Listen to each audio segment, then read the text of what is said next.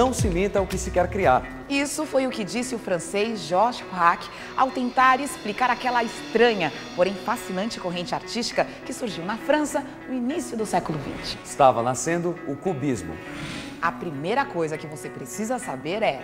De algum modo, tudo de mais arrojado e mais ousado que se fez nas artes do século XX teve a ver com o cubismo. É o que a gente vai contar neste programa especial sobre o movimento cubista, que há 100 anos mudou o rumo da história da arte.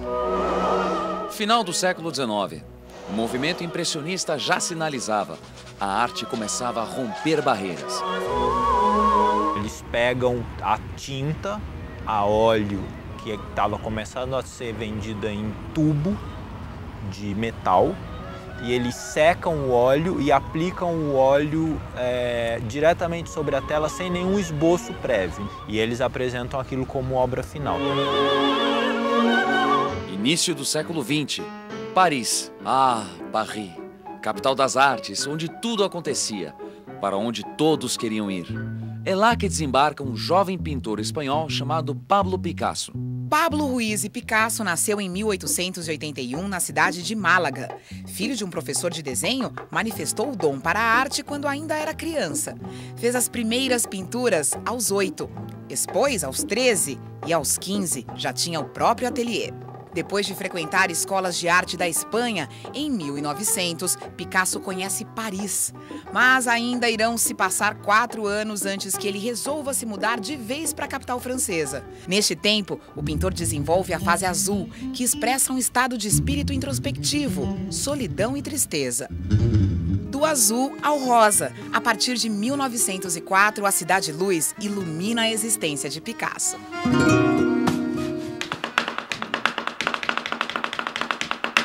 Picasso en 1907 está pintando un cuadro que es Las señoritas de Aviñón, que es un cuadro agresivo, expressionista, primitivista. Aquela obra é revolucionária, é considerada um ponto de partida, porque introduz vários elementos, especialmente a questão do primitivo.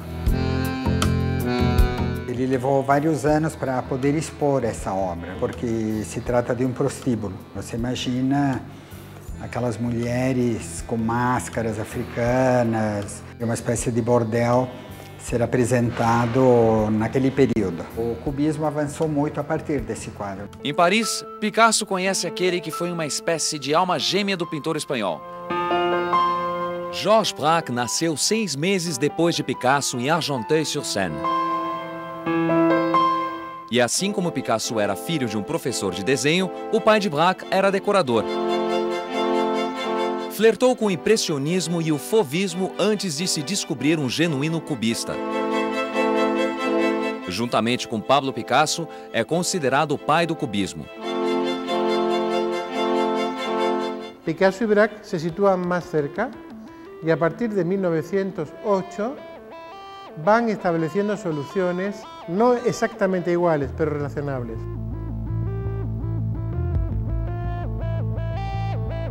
Braque muy sistemático, Picasso mais livre e mais informal. Eles fazem isso que os impressionistas haviam feito com a cor para o desenho. Tomam planos desenhados num estágio, digamos, inicial, compõem uma série de perfis do objeto desenhado que acabam ficando planos, ou seja, não há mais a ilusão da tridimensionalidade. No entanto, a base do, digamos, truque ilusionista da perspectiva estava ali. O nascimento do cubismo ele pode ser compreendido nessa perspectiva de uma crítica ao desenho acadêmico e uma nova forma de composição, que a partir daí ganha independência e autonomia porque o cubismo acaba se tornando, por sua vez, uma nova escola. Em 1908, um ilustrador espanhol de 21 anos conhece Picasso e se apaixona pelo cubismo. Quatro anos mais tarde, José Victoriano Gonçalves Pérez, mais conhecido como Juan Gris, expõe as primeiras obras produzidas em estilo cubista. Seis anos mais jovem que Picasso, Juan Gris estudou na Escola de Artes e Indústrias de Madrid. No início da carreira, desenvolvia projetos gráficos e criava ilustrações para escritores e poetas. Uma inclinação que certamente o inspirou a inserir elementos tipográficos em várias obras e também a investir na técnica da colagem, traço marcante no trabalho de Gris na primeira fase do movimento cubista. Juan Gris fue un discípulo de Picasso, en alguna medida. Juan Gris vivía donde vivía Picasso, en el Bateau. Lo tuvo siempre como alguien que merecía la pena eh, imitar. Picasso dijo de Juan Gris, a veces los discípulos ven mejor y más lejos que los maestros. O Gris é um dos pintores que mais usa cor, né? É, que mais é, trabalha com diferentes tons. Né? Se a gente fosse olhar os quadros de outros, é, como Picasso e Braque, nessa época eles eram muito mais sóbrios. Quando nós pensamos em Picasso e Juan Gris, qual a diferença entre um e o outro? Juan Gris miró siempre a la tradición de los museos. Picasso también, pero para retar a los grandes maestros, para ser más que los grandes maestros. Juan Gris para continuar a los grandes maestros. Picasso acabó haciendo desaparecer la forma. Juan Gris hizo que la forma surgiera en el cuadro. Picasso, en su cubismo esencial, abandonó el color. Juan Gris sintió la necesidad de pintar siempre con color. Picasso además pensaba que el arte estaba desvinculado de la reproducción de objetos reales. Juan Gris con la pintura hacía aparecer los objetos reales.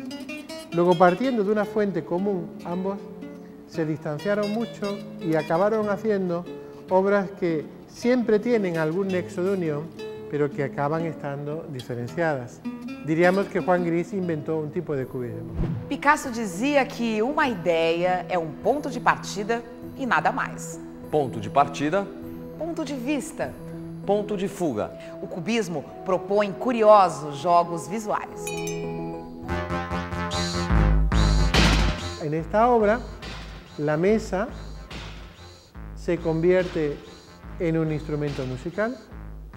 El instrumento musical da cuerpo al lomo y a las páginas del libro. El libro da cuerpo a la botella. La botella se convierte en la balaustrada. La pera tiene la misma forma que la balaustrada.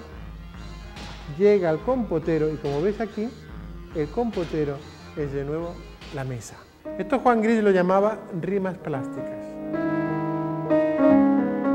O cubista busca outros modos de conceber o espaço que são modos contraintuitivos. Inicialmente, ele está comprometido com essa multiplicação das geometrias na virada do século XIX para o século XX e no mistério da física.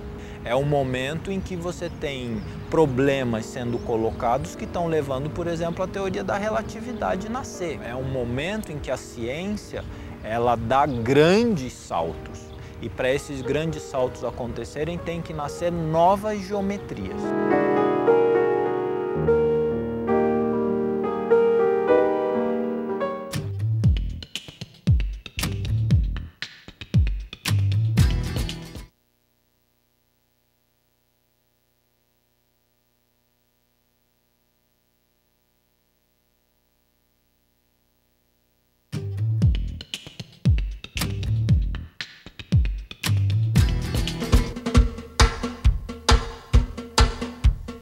Cuando estudiamos el cubismo, leemos en un libro, decimos, hay un cubismo analítico, hay un cubismo sintético. O analítico seria essa primeira fase ah, em que eles vão analisar essas formas, vão, vão dissecar esse espaço e vão geometrizar ao máximo. E a fase seguinte, que é o sintético, seria justamente quando vão começar a surgir esses trabalhos com colagem.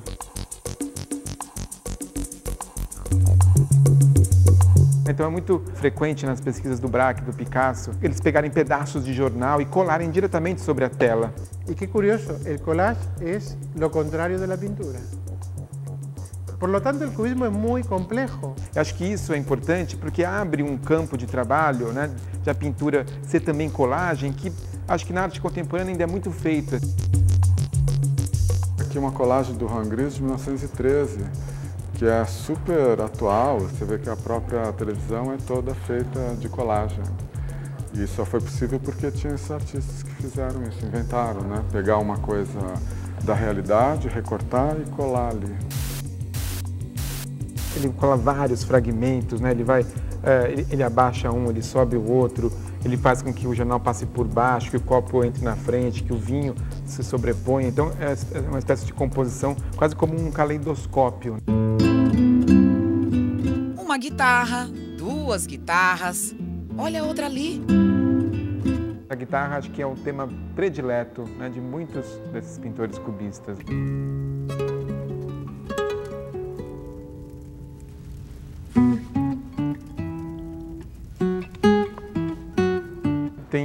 Trabalhos do, do Juan Gris mesmo, do Picasso, do Braque, em que eles pegam essa guitarra e essa guitarra é a, é um motivo inicial, né? mas na verdade ela vai sendo desdobrada, aberta, feita, refeita. Estava reparando como que ele, ele coloca essas cordas, né? são três linhas, depois ele, essas mesmas três linhas ele repete aqui, só que não mais como cordas, agora como partituras talvez, ou como documentos, cartas, né? Alguns elementos eles são permutáveis. A guitarra é apenas insinuada, uma referência distante, né? um motivo que permite com que ele justamente faça essa dissecação do espaço, essa fragmentação do espaço e essa composição cheia de cores e de, e de tons né? que vão variando num ritmo, né? quase como um ritmo musical mesmo, que tem uma espécie de cadência. Cuando a principios del siglo XX un artista eh, quería ser eh, moderno, tenía dos soluciones. Una, hacerse como los futuristas, porque los futuristas eran muy ruidosos y predicaban la vida moderna, las máquinas, las industrias. Los futuristas, diríamos, acabaron pronto. ¿eh? En 1914 ya no tenían. La otra solución de todos los artistas que querían realmente adentrarse en el nuevo arte era llegar tocar el cubismo y hacer otra cosa. Paul Klee, o Paul Klee, como quieras decir, viajó de Suiza y de Múnich a París a conocer el cubismo e hizo un homenaje a Picasso y un homenaje a los cubistas. Piet Mondrian, desde Holanda, también para inventar el Die primero tuvo una fase cubista. Delaunay, antes de inventar el orfismo, tuvo una fase cubista. Primeiras pinturas de Segal, como Eternos Caminhantes, por exemplo, você vê sim influência de máscaras africanas. Em aldeia russa, por exemplo, você vê muito, muita geometrização, vários planos justapostos. Na fase final da vida dele, as florestas são absolutamente geométricas. Isso não faz dele um pintor cubista, mas com preocupações semelhantes aos dos cubistas. Diríamos, o cubismo é como uma espécie de talismã que ordena el arte del siglo XX que cuando un artista lo toca se convierte al arte del siglo XX. 1914, Primeira Guerra Mundial. Os cubistas se dispersam. Georges Braque é convocado. Pablo Picasso se apaixona por uma bailarina russa e direciona a criação para o estilo neoclássico. O movimento cubista acaba. Tem início o segundo cubismo, agora pilotado por Juan Gris. Ai, ai, ai.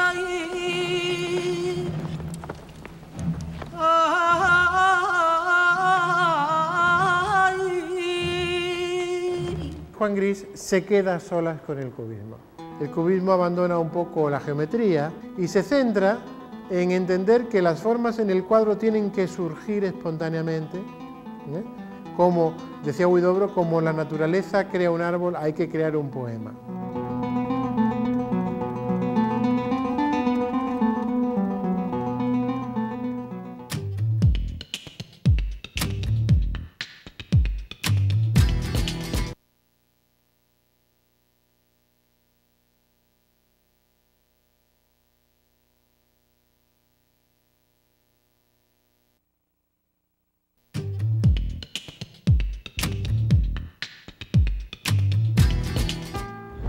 Gênio. Egocêntrico. Temperamental. Bom vivant. Um pouco de tudo isso. Assim era Pablo Picasso, um homem que em vários momentos foi além da figura do artista. Picasso era um gênio como tantos outros gênios existem. Picasso, eh, não porque eu diga, mas é considerado talvez o maior gênio da pintura no século XX. Não apenas pelo caráter de inovação que ele trouxe, mas pela obra fecunda, o homem que viveu, acho que até os 90, um pouco mais, eh, produzindo de uma forma avassaladora como poucos. Por exemplo, a Guernica, que é também essa grande obra. Picasso pintou Guernica durante a Guerra Civil Espanhola, que matou 400 mil pessoas. A obra representa o bombardeio da cidade de Guernica por aviões nazistas que Hitler enviou em apoio ao general Franco. Guernica é a obra mais famosa de Pablo Picasso. Está exposta no Centro Nacional da Arte Rainha Sofia, em Madrid. Foi consagratória e ocupa um lugar hoje na história da arte indiscutível. Picasso trabalhou muito, trabalhou muito mesmo. Então, além dessa genialidade, acho que tem um, um estudo e um trabalho árduo, né, que talvez é, de gênio ofusque, como se fosse natural, fosse fácil. Sem dúvida, tem muito trabalho ali. É um caso de genialidade, é um caso único. Um século atrás, as novidades demoravam para chegar ao Brasil. Por isso, os únicos artistas brasileiros influenciados diretamente pelo cubismo estavam na Europa quando surgiu o movimento. Pernambucano Vicente do Rego Monteiro estava no olho do furacão. Ele não apenas viu o cubismo nascer, como se deixou seduzir por aquele figurativismo geometrizado. Rego es muy joven y está en París en los años 1911-1913. Conoce el cubismo, va asimilando el cubismo, ¿no? Y cuando vuelve, eh, pues cree que las formas cubistas al mismo tiempo que sirven para la vida moderna, sirven también para apreciar de otro modo la cerámica mayaorara y para apreciar de otro modo eh, determinadas formas artísticas de los mm, eh, indios del Amazonas. Em vez de ir atrás do primitivo africano, que foi o que os cubistas fizeram, e da Polinésia, por exemplo, ele descobriu que o Brasil tinha o seu primitivo, né, que no caso foram os marajoaras. E a arte marajoara deu para ele assim uma fonte de criatividade extraordinária com essa geometria e essa abstração. Esta obra de Rego Monteiro, lo primero que hay que decir de ella es que costó muchísimo trabajo conseguirla. La conseguimos gracias a un marchante brasileño que supimos de, que la tenía, la llevó a Madrid a una feria de arte y allí pudimos realmente llegar a un acuerdo con él y mmm, tenía algo para nosotros de, joya de la corona, porque incluso cuando no estaba así enmarcada, colocada en la pared sola, tenía algo religioso. Los objetos están tan quietos, están como flotando en el aire. En las revistas españolas de los años 20 que yo estudié cuando era joven, pues el, eh, aparecía Rego Monteiro como una de las figuras del gran arte internacional en París. Era, era, presentado como el artista al que había que imitar y el artista que iba en la tendencia mayor. Dos nossos clássicos do modernismo, talvez Tarsila, que frequentou ateliês em Paris do Fernand Léger e do Delaunay, ela tem momentos cubistas, assim como ela tem momentos surrealistas. Quando Tarsila regresa e inventa a pintura para o Brasil, después de conocer el cubismo, esto lo dice ella por escrito, no me lo invento yo, pues es capaz de ver de otra manera determinadas formas vernaculares y populares del arte brasileño. Es lo mismo en los pintores franceses, en los pintores españoles, en los pintores rusos o en los pintores brasileños. Natalia Goncharova también gracias al cubismo recuperó el arte popular de los iconos y de los encajes rusos. Alexandra Esther, determinadas formas de arte popular ucraniano. Não acho que o cubismo no Brasil tenha feito escola. Em compensação, várias décadas mais tarde, temos talvez o concretismo, que leva ao extremo a questão do abstrato e do geométrico. A grande herança cubista, ela vai frutificar no concretismo brasileiro.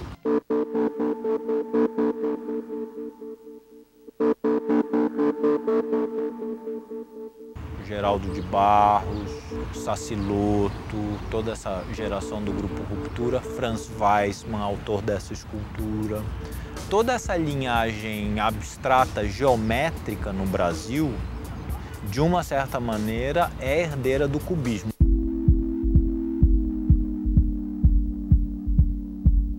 O cubismo é uma escola histórica encerrada, um período totalmente ultrapassado, mas que tem a sua vigência muito forte.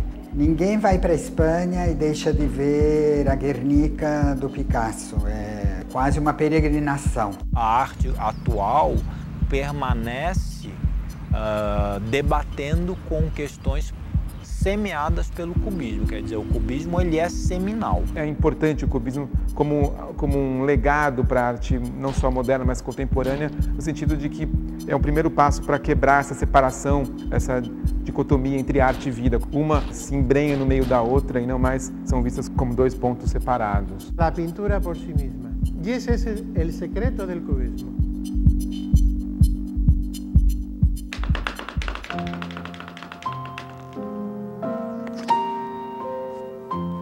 Quando nasci, um anjo torto, desses que vivem na sombra, disse: Vai, Carlos, ser goche na vida. As casas espiam os homens que correm atrás de mulheres. A tarde talvez fosse azul, não houvesse tantos desejos. O bonde passa cheio de pernas, pernas brancas, pretas, amarelas. Para que tanta perna, meu Deus? Pergunta meu coração porém meus olhos não perguntam nada. O homem atrás do bigode é sério, simples e forte. Quase não conversa. Tem poucos, raros amigos, o homem atrás dos óculos e do bigode. Meu Deus, por que me abandonaste se sabias que eu não era Deus, se sabias que eu era fraco? Mundo, mundo, vasto mundo, se eu me chamasse Raimundo, seria uma rima, não seria uma solução. Mundo, mundo, vasto mundo, mais vasto é meu coração. Eu não devia te dizer, mas essa lua, mas esse conhaque botam a gente comovido como o diabo.